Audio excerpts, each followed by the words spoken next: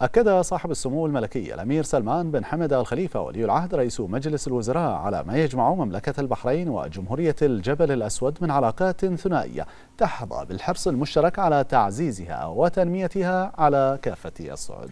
وأشار سموه إلى أهمية تطوير مسارات العمل والتنسيق المشترك بين البلدين الصديقين بما يفتح آفاقا جديدة للتعاون الثنائي ويسهم في تحقيق الأهداف والمصالح المشتركة.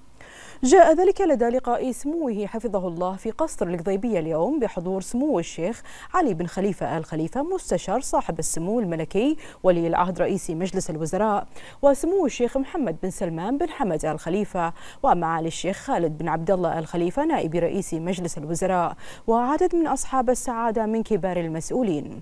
السيد ميلوج كوس بايتش رئيس وزراء جمهورية الجبل الأسود حيث جرى استعراض مسار العلاقات بين مملكة البحرين وجمهورية الجبل الأسود ومستويات التعاون الثنائي وبحث سبل تعزيزه على مختلف المستويات بما يحقق الأهداف والتطلعات المشتركة ويعود بالخير والنماء على البلدين والشعبين الصديقين.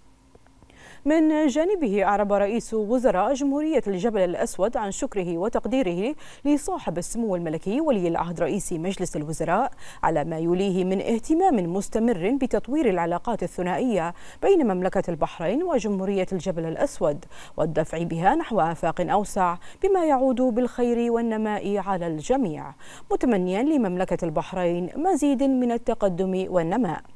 هذا وقد قام صاحب السمو الملكي ولي العهد رئيس مجلس الوزراء ورئيس وزراء جمهورية الجبل الأسود بجولة في مكتب رئيس مجلس الوزراء.